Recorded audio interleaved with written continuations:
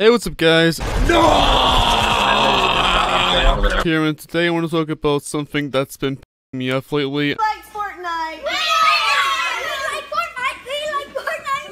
and it's something to do with the user named LoopedQ. Hey, it's LoopedQ back here with another episode, and today we're going to be spotting to Nathorix's video on me. Other creators such as Koneko Kitten and myself. I will be skipping around the uh, video a lot because I want to make sure, you know, I get his points and so I can talk about the other people who, you know, express their opinion on why I made the video and what they think about it. The, you know, drama between Flamingo, Albertsstuff, his girlfriend and his ex-girlfriend, it's, uh, it's not really, you know, factual information. And what I mean by that is that it's very he said, she said, and it's, uh, it's not worth covering at all. It's just like, hey, this was like, experience I had with you. Hey, no, the experience was good. And I don't think this was just a bad experience because she said she got PTSD from the relationship. And if you don't know what PTSD is, it's post traumatic stress disorder and it's actually really serious. Bad things happen for you to get this. Not just bad things, but horrible things happen for you to get this. So I don't think it's just, you know, he said, she said, this was a bad relationship. No, she's actually claiming she got PTSD, it must have been such a serious cause for that. I, I just don't really understand why this person makes the content that he makes when it's it's there's no need for it really. Like if I could see any reason for the content existing other than for some views and money, I guess I'd let it slide. You yourself later in the video said I make some good videos once in a while. So the purpose is for entertainment value and I get entertainment value out of making them because I enjoy making them. Otherwise I'll not be making them. And for views and money, you know, I don't get that many views, you know, I don't get that much money. Really, I haven't even got enough money to really buy three pizzas. So in the end it's for entertainment value. You yourself even think you got entertained by some of them. So that's what it's for. Recently Looped Q uploaded a video called Albertsstuff, you know, Flamingo drama with his girlfriend, and within the first 30 seconds of the video going up,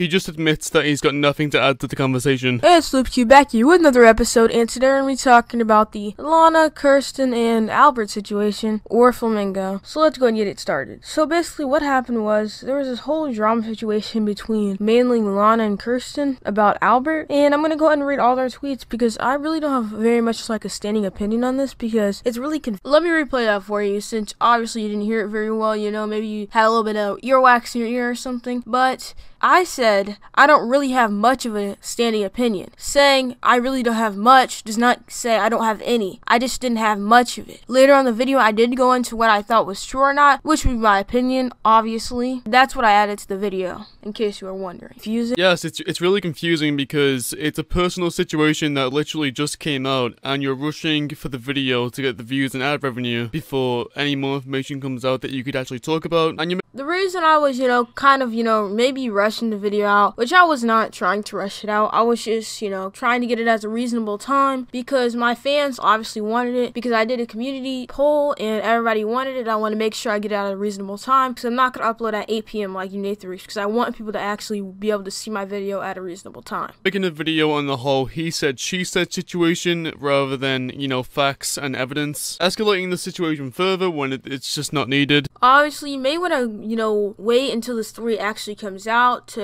report on the video. However, people wanted it. I just wanted to give my opinion on it. I was not trying to escalate the situation any further. I just wanted to give my opinion out it where everybody could see it because I, that's the reason I made a drama channel in the first place was to give my opinion on topics. Also, you shouldn't just come to my channel expecting facts and all this evidence.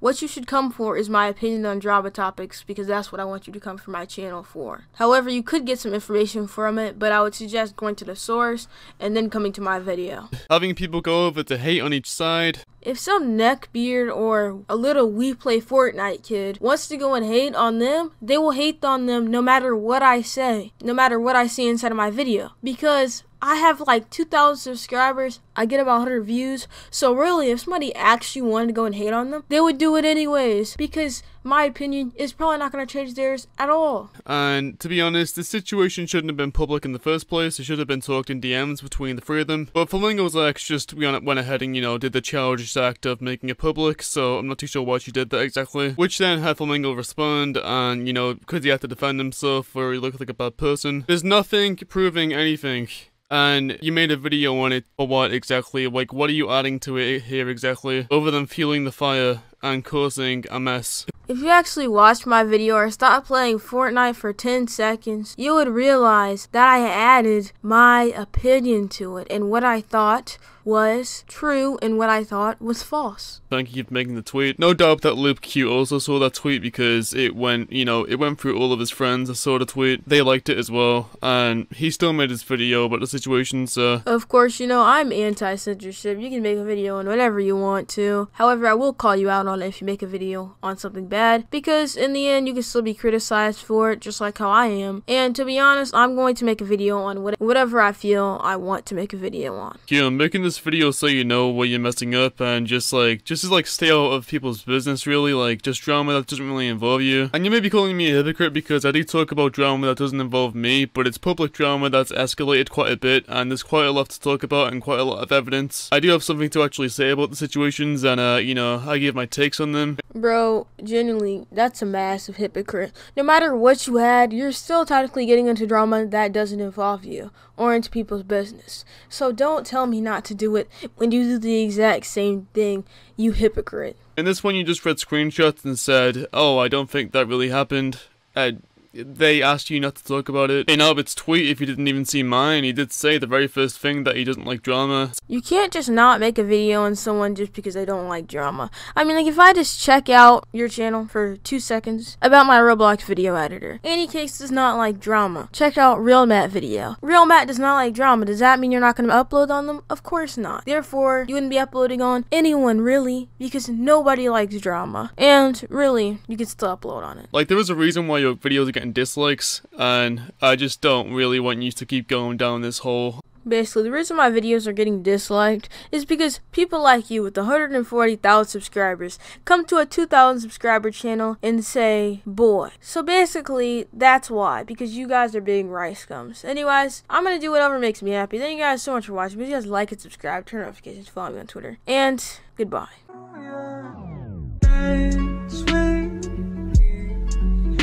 house.